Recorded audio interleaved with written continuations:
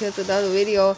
I'm gonna be showing you how to fly a jet in Transformers War for Cybertron Decepticons. Alright guys, so as I you can, see I can already see it. Alright guys, so as you, as you can see, you just need to press the B button. Uh, or you can even just press the uh, trigger or whatever it's called. Or the D-pad and then you could go press up on the D-pad and then you go up.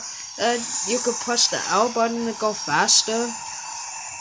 And then the B button is just your it's just the speed anyways.